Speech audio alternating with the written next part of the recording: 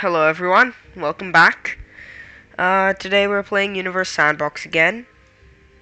To be just...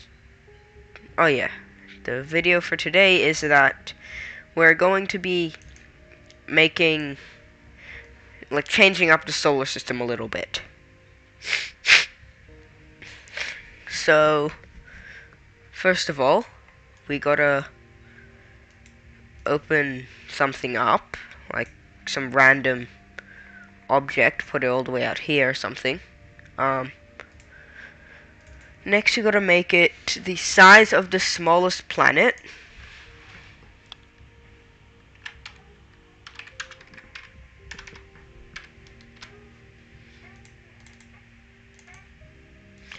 Okay, 1,930 kilometers in radius. Don't know what happened to this. Like, it probably broke in the terraforming update, but I have no idea. It's just, it's just like stopped becoming nothing. It's just become Mars now. So, here we are, but this is actually the size of Kepler 37b, which after a Google search I found out was the smallest planet and we're gonna be we're gonna be taking some moons. We're gonna be taking the moons out of every planet. So like if we go to Earth we're going to add moons to planet. If we take Mars we're gonna add the moons. What happened to Mars? Okay uh, next you got Jupiter add its moons. Yep. Saturn, add its moons. Uranus, add its moons. And Neptune, we add Neptune's moons. So around here is just kind of normal stuff. Yeah, maybe we'll do Pluto as well. Just to be nice. Okay. So we added all the moons. Now we go into chart mode. Where's chart mode? View, chart. Uh, 1D radius. Uh, now where is that little...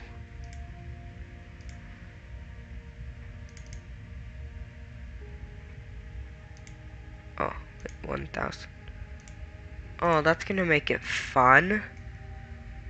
Okay, now where's the Mars thing? What is this? This is Mars. But which one's the actual Mars? Wait. So that's the that's the actual Mars, right? So um is this 1930 kilometers? Yeah, okay. So everything past this is not oh wow that looks cool. Whoa okay so okay let's not get off track here. So everything here on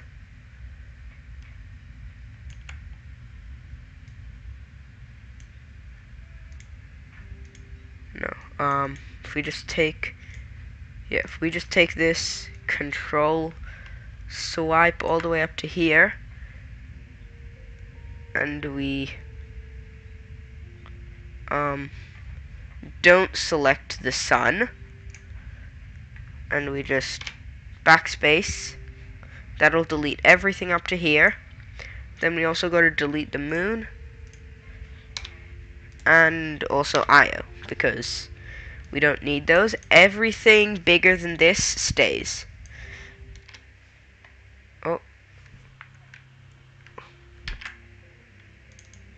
What happened? Oh, okay. Everything bigger than this Mars stays. So Mars, go away. Okay. So now we view chart off. Where? Oh. What?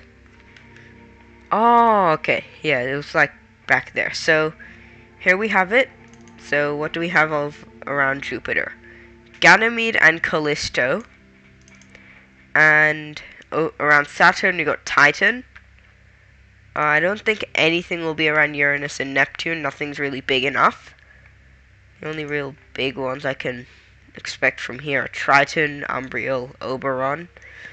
Uh, the moon didn't make it, but everything here did. So now, as we take a look, we'll see how different the solar system gets when we when we make these moons their own planets. So we'll, let's pretend that first of all, uh, Callisto started migrating outwards a bit. Just like make it go a little faster so it isn't really slow. Okay. So we're going, say, like 5 days a second. We make it go, we, okay, orbital period. We make that go up slowly. Okay, we're a month now. Is it?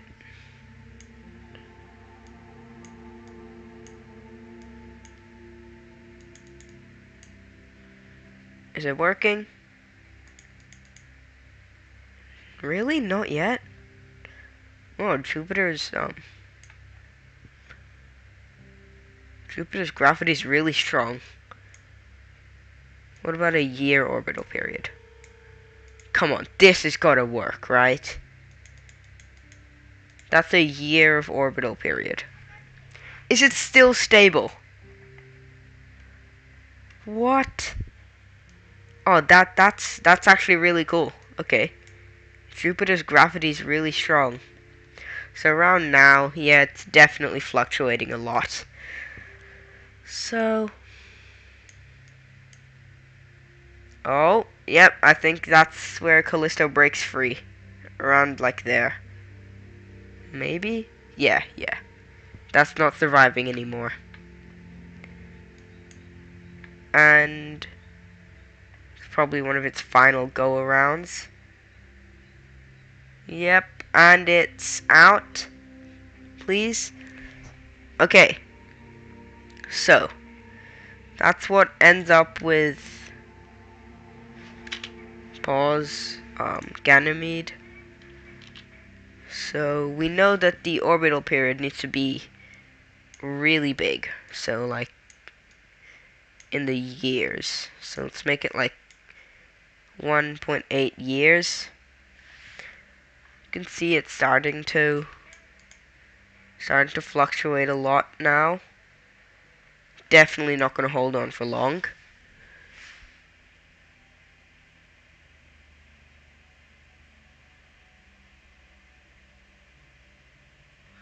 Oh, okay. Come on, break free. You need freedom. You're big enough to be a planet. You don't have to stay here. Okay? Yep. And we're out. Okay. This is what the solar system looks like so far. And now we have Titan. This is going to be fun because Titan's like tilted at an angle. Like the same angle as Saturn's rings. So is it going to be like a really angled different planet? So let's try it. Okay. Orbital period. Orbital period, let's see. Still not doing anything, really? Oh yeah, Saturn's a lot further away, so it can handle a lot more moons. Really far away, apparently. Okay. Six year orbital period. This, this, that's, that's really weird. Okay, um, is it stabilizing still? Okay, let's just, um, finish off. Yep, that, that's it. No, okay. you can see that it didn't really go off track a lot. It's just more like Pluto-y. It's a lot more Pluto-y than... Wait, did Callisto go back in orbit? oh, never mind, never mind. Callisto's out. Okay, Saturn and Saturn and Callisto might actually meet up and create some like sort of thing. So, so the outer solar system now has like. Oh, yep. See Callisto. Now it's gonna get sent back into Jupiter. Oh, Ganymede. Okay. This just shows you how like how large the gravity of some of the planets are. Like they can Saturn can handle an orbit that's 6 years long without it no, you Saturn can handle an orbit which is like 3 years long without it crashing, like without it exiting its influence by even a bit. Like gravity on these planets are huge. Uh, okay, what's happening now?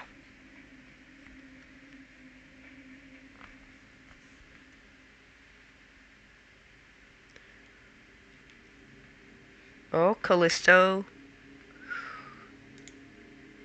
Is this, is anything gonna happen? Let's check. Because, oh, what happened? What got ejected? Ganymede, Callisto, Titan, they're still there. Okay. Oh, wait, no, Ganymede's in a really bad position now. Yeah, G Ganymede's not, not surviving. What? Oh, Ganymede and Callisto. Wait, no, maybe Ganymede will survive. It has like a little eccentric orbit to its rescue. Oh, that's, that's, yeah, that didn't look good. Okay, you can see everything, all the orbits are kind of bunched up around Saturn. And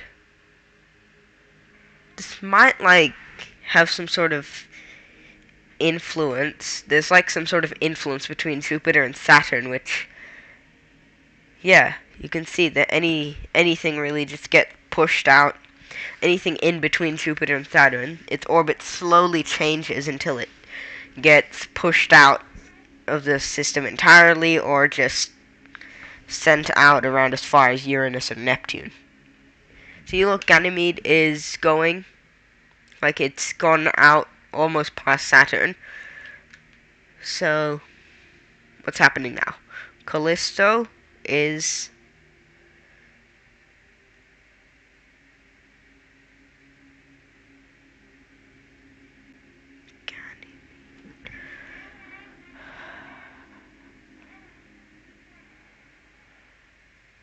Um, is it stable?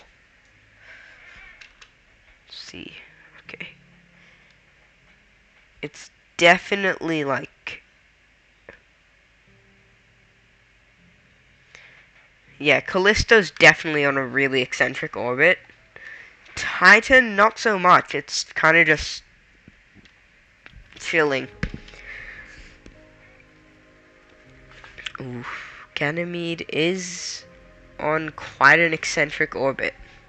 Yeah, I'm pretty sure this is why we can't really have any rocky planets outside the, like, outside the inner solar system, because Jupiter and Saturn just, like, wreak havoc on it.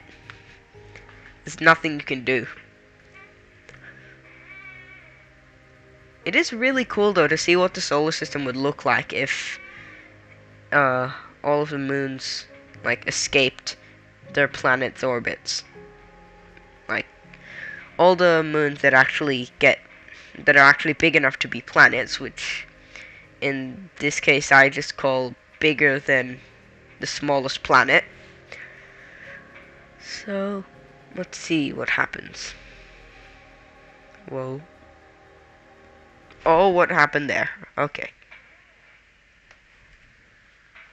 Titans kind of getting tug on by Saturn. So I don't think Titan's safe anymore. The only real way you can be safe is by having an orbit that's around as eccentric as that. Let's run the simulation for a bit more and see what happens. Okay. I like to the point where I can barely keep track of it. Callisto's orbit just got changed again. I think it's got like another double encounter with Jupiter. Oh, and okay, it's surviving. Oh, what happened there? Ganymede just got yanked by Saturn.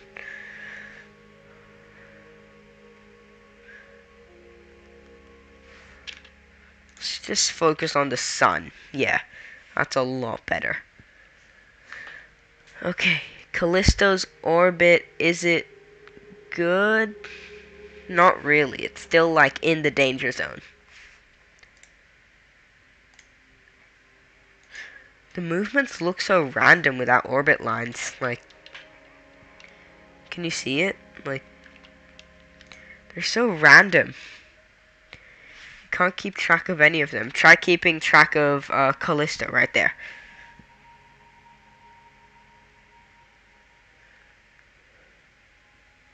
It's kind of easy, actually. Never mind. Oh, something happened. Jupiter and Callisto are kind of close. Oh.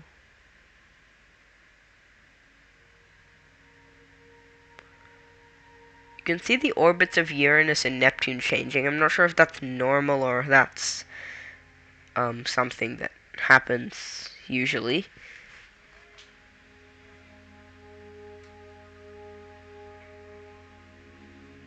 Saturn and Titan are just in this endless race.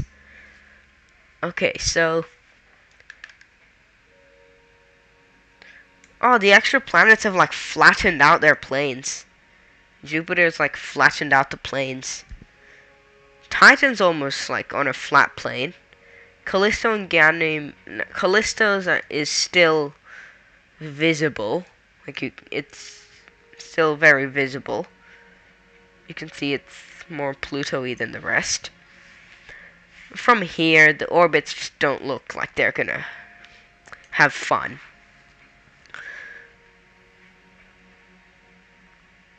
Oh, wait, Titan just got pulled in in the little area in the death zone between Jupiter and Saturn. Oh, oh, Ganymede got ejected. Okay, that's our first ejection. Only like a few thousand years into the simulation. So if if the two moons escaped after only a few thousand years, the yeah. It would be completely ejected. Oh, okay. Callisto is... Titan... Yeah, the system's falling apart now. These new planets wouldn't last more than a few thousand years, tops.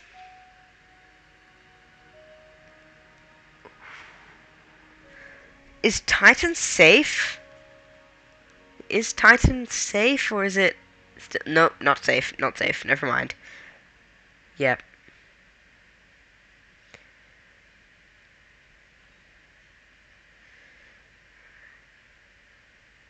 Yeah, Titan isn't safe. Anything in between Jupiter and Saturn just can't be safe. Callisto, again, no, because they're all on the same plane now. What? How does that happen? Is it like because Jupiter tugs on them, bringing their orbit down, but if they go too down, tugs more on the other side? Oh. Okay, it's... Ganymede's long gone.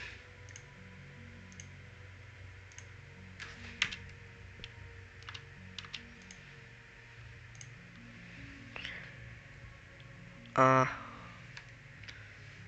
boom.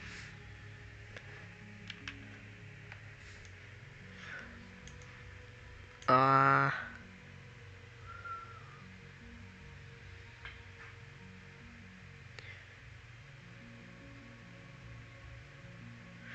Oh, okay. It's starting to like Callisto's starting to not have a good time with Jupiter again. So yeah, Jupiter and Saturn just eject everything. We're now 3,000 years into the simulation. Actually, almost 4,000. Yeah, now we're 4,000. Wait. 6,000.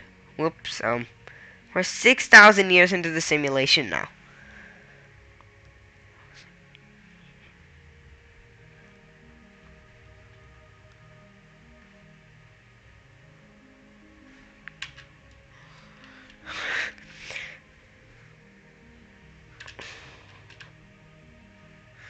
On the 26th of September, 8241 at 9:14 a.m.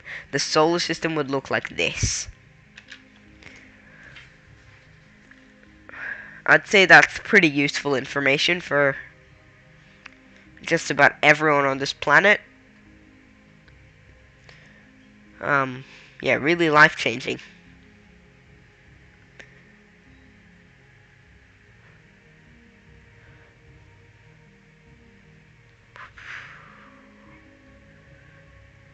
kind of mesmerizing to see these planets just spin endlessly and slowly change.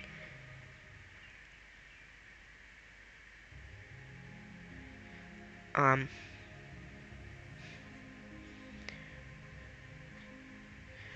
I feel like nothing else is really gonna happen, so I'll speed up the next part. Yeah, let's just speed it up.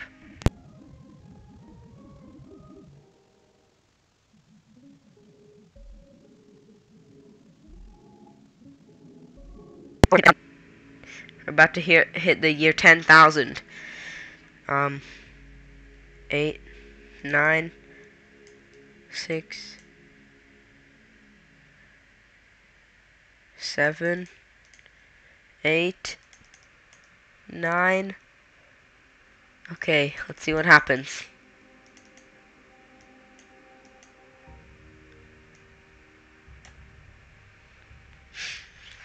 Okay, we're going to the final days of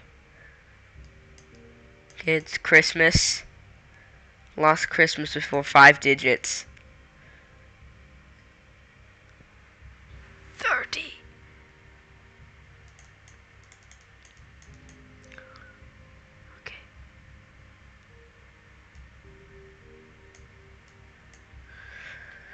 Okay. Okay. It's New Year's Eve on year 9999. Let's see how people react. Okay, good. My mic's on. Okay. Oh, okay. 1150. Just imagine the people having fun. 56, 57, 58, 59 and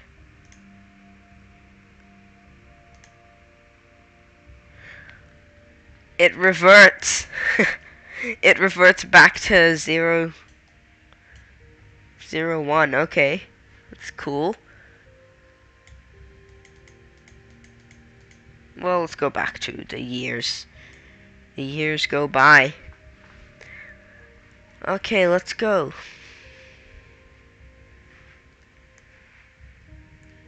Yeah, I feel like eventually everything will get ejected because everything's on the same plane now. It's all it's all gone. Ganymede's gone, so I think the rest will follow. And I'm not waiting here around for like another hour and a half. So goodbye. Have a great week and make sure to subscribe. It's literally just clicking a button. So bye.